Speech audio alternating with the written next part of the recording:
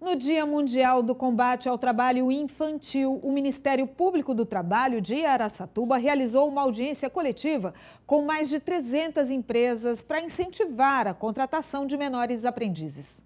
Natiele faz parte do programa Jovem Aprendiz e, com apenas 20 anos de idade, já teve duas oportunidades de trabalhar em empresas de médio e grande porte. Nós jovens é, estamos aprendendo, né? Então, com eles, a gente está sempre buscando novos conhecimentos para o nosso próprio crescimento profissional dentro ou fora da empresa, né?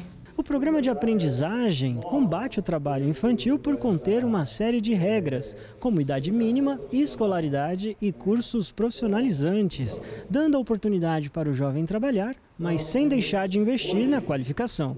A instrução representa um papel crucial na formação de indivíduos preparados para enfrentar desafios atuais e futuros do mercado de trabalho, e por isso a necessidade do estabelecimento das diretrizes educacionais. A aprendizagem ela é uma ferramenta poderosíssima para o ingresso dos jovens no mercado de trabalho, porque ela concilia o aprendizado profissional através da prática e da, teo, da, da, parte teórica, né, que é a educação, que a gente valoriza muito. Porque hoje os trabalhos, eles exigem qualificação. Então, quanto mais qualificado esses nossos jovens estiver, melhores vão ser as oportunidades de trabalho que eles têm.